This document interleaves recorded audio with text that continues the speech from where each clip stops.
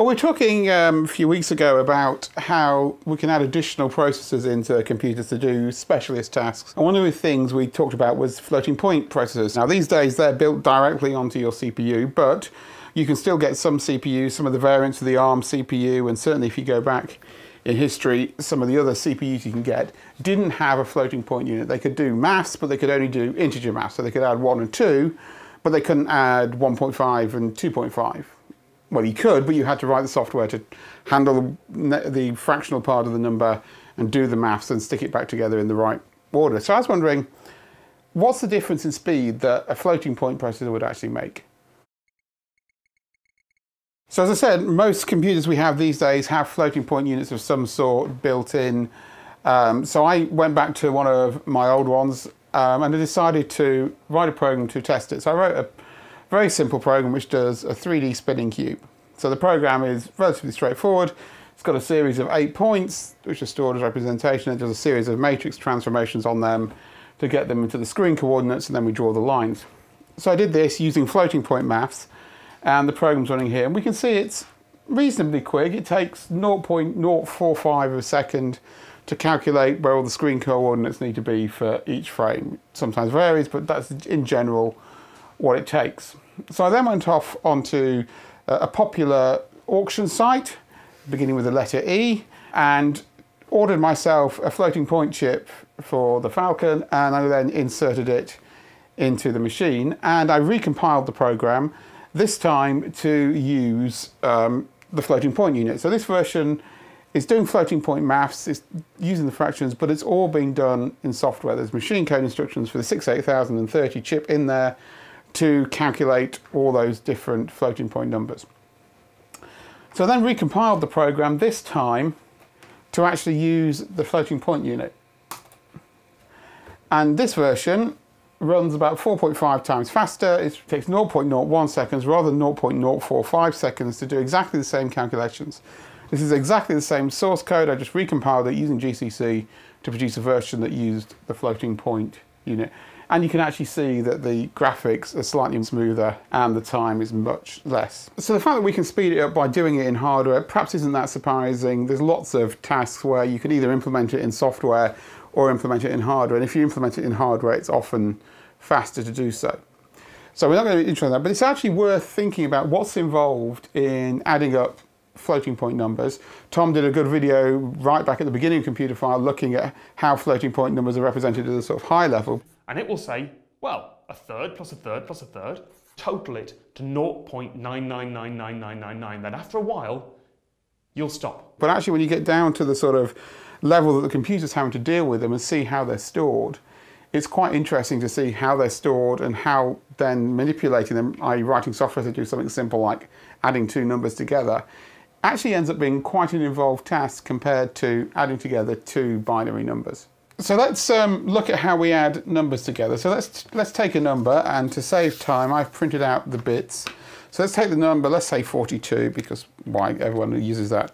So we've got here, the number 42 is 1, 0, 1, 0, 1, 0, and then we need to fill the rest up of these with zeros. We'll ignore that for now. So that's bit 0 over on the right hand side through to bit 1, 2, 3, and these of course are the same as the powers of 2. So 2 to the zeros is 1s, 2 to the 1 is 2s, 4s, 8s, just like we have powers of 10 when we do decimal numbers. So let's say we want to add together 42 and 23. So I've got another binary number here, 23, so the same bits. And we'll just basically do addition. So 0 plus 1, Sean, is? 1. Good. Oh, this is my level. Yeah. Okay, 1 plus 1 is? 10 yes, 0, and we have to carry the 1. 0 plus 1 plus 1? 10. 10, yeah. 1 plus 0 plus 1. So yeah, we've added up 42, this number is 23, 42 plus 23 is 65, and so we produce 65 in binary as a result. So adding up in binary is a relatively straightforward thing. What we do is we take from the right each pair of bits, add them together, we produce a sum bit, and occasionally we also produce a carry bit and then we add the carry on in the next column, just like we do when we do decimal arithmetic.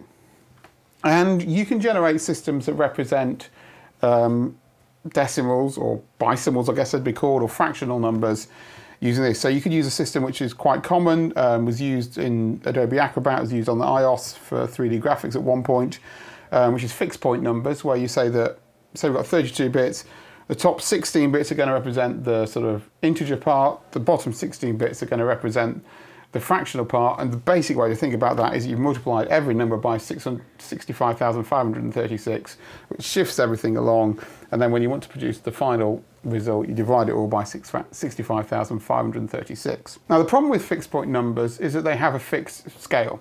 The fixed is key in the name. So for example, if we use 32-bit fixed point numbers, splitting it into 16 bits and 16 bits, that's great. We can go up to 65,000 or so on the integer part, but if we need to get to 70,000, we can't store it. Likewise, we can go to 165,536 of a thing, but if we need to go to 1 131,072 of a thing, we can't because we don't have that resolution. On occasion, we need the bits down here to represent very small quantities, and occasionally we want them to represent very large quantities. For something like 3D graphics or graphics in general, fixed point numbers can work well. For general purpose things, they don't work that well. So what people tend to do is they use floating point numbers, which is they write things, as Tom said, in scientific notation. So rather than writing 1024, we write it as 1.024 times 10 to the 3. So we're using scientific notation.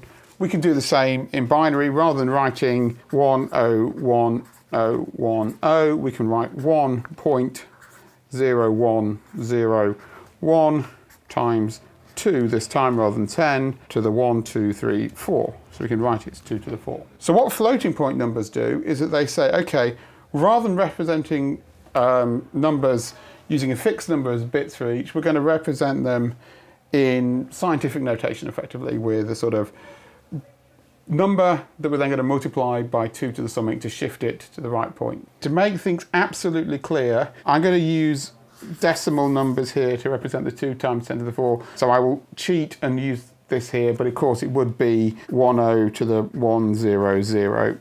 So I guess the question that remains is how do we represent this in a computer? We've got to take this notation, which we can write nicely on a piece of paper to represent the binary number multiplied by a power of 2. But how do we represent that in the computer? What we need to do is take this and find an encoding which represents it as a series of bits that the computer can then deal with. So we're going to look at 32-bit floating point numbers, mainly because the number of digits I have to fill in become relatively smaller to deal with then. Rather than doing 64-bit, we could have done 16-bit sign things, but they use the same thing. It's just the, the way they break it down changes slightly, how many bits are assigned to each section. So we've got our 32 bits, and we need to represent this number in there. We start off by splitting this up into a few different things. So the first bit, or the most significant bit, are in the number, the one on the left over here, is the sign bit. And that says whether it's a positive number, in which case it'll be zero, or a negative number, in which case it'll be one. So unlike 2's complement, which David's looked at in the past, 2's complement is equivalent to the 1's complement with 1 added to it. The sign is represented purely as being a 0 means positive, 1 means negative. We just have one bit representative of that. They then say we're going to have 8 bits which we're going to use to represent the exponent, this bit here, i.e. what power of 2 we've got, which gives us 255 or so different powers of 2 we can use. And we'll come back to how that's represented in a second. And then the rest of it is used to represent the mantissa as it's referred to. So the remaining 23 bits out of the 32 are used to represent the remaining bit of the number. Okay, so they've got 23 bits to represent the number, which is then going to be multiplied by the 8-bit exponent. They said every single possible floating point number you're going to write down is going to have a 1 as its most significant digit, except 1, 0. They say, okay, we'll treat 0 as a special case, and to represent 0, they just set all bits to be zeros. So we know that this is going to be 1. Well, we know it's 1, so we don't need to encode it. It's always going to be 1. So actually, these 23 bits here are the bits that come after the 1. So it's 1 dot m, m, m, dot, dot, dot, so on, which are all the bits that come after here. So we, we sort of don't encode that bit because we know it's there. One way to think about floating point numbers is that they're a sort of lossy compression mechanism for real numbers, floating point, uh, real fractional numbers because we're taking a number which is some representation and we're compressing it into these bits, but we lose some information and we can see that in a second. We'll run a little demo and we'll see that actually it can't represent all numbers. And it's surprising sometimes which numbers it can't represent and which, can, which it can. So we can then start writing numbers in this form. And to simplify things, I've printed out a form like this.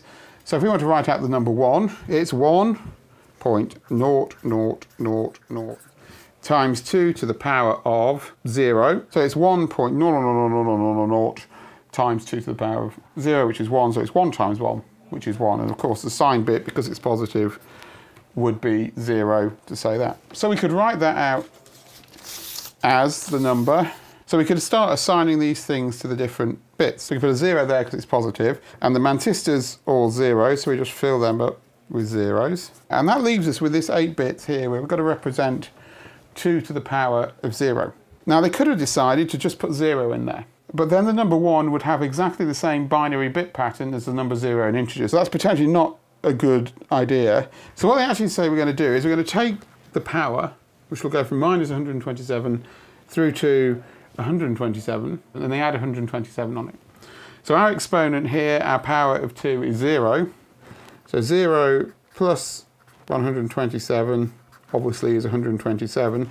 So we encode 127 into these remaining bits. So it's 0, 1, 1, 1, 1, 1, 1, 1.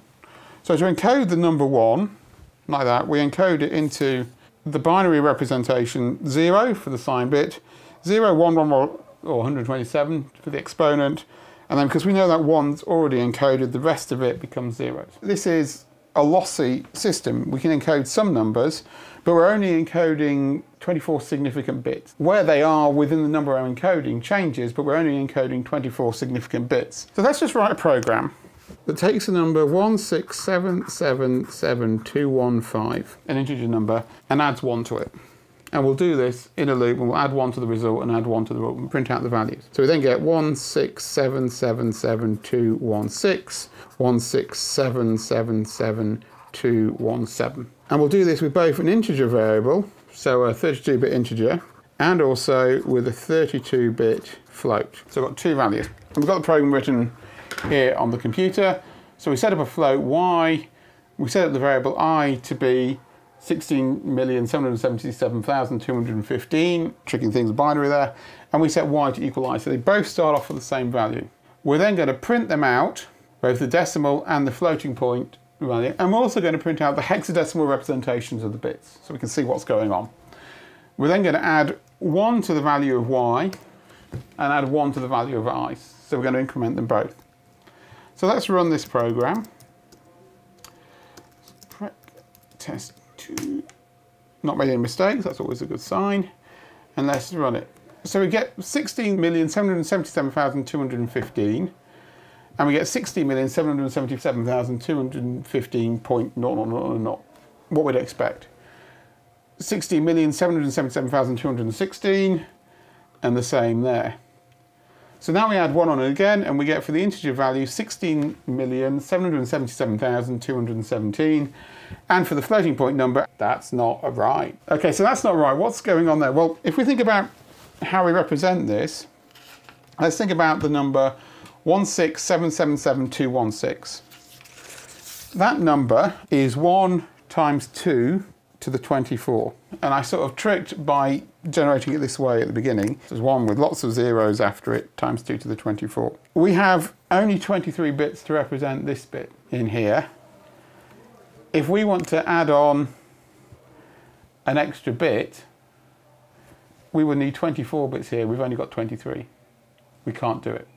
So we can't represent it. If we added up two each time, it would work fine. So actually, as we get to larger numbers, we still have the same number of significant bits or significant digits, but we can't store certain values, whereas we can with integers. So it's a lossy compression system, basically. We can store a large range of values, anything from minus 2 to the power of 127 through to 2 to the power of 127. Or we can go very, very low and have numbers as small as 2 to the minus 127. But we only have a certain level of precision. So if we're dealing with very, very large numbers, then we've still only got 23 bits worth of precision. And if we're dealing with very, very small numbers, we can only got 23 bits worth of precision, which is fine. We can cope with that because often when you're dealing with big numbers, you're not worried about the small fiddly decimal places in your or the small significant figures. If you're measuring how far it is from the Earth to Alpha Centauri in millimeters, plus or minus a few millimeters, a few points of a millimeter isn't going to make much difference. That sort of thing. So it's a compression measurement, It's a lossy system.